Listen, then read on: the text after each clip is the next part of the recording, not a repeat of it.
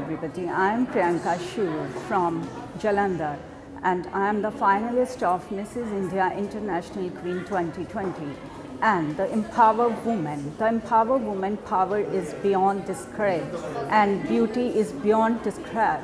So every woman should know that her voice can change all the world. It's everything is possible in this world. So be you, be positive, think positive and I am very thankful to Mrs. India International Queen 2020 who gave me this a golden opportunity.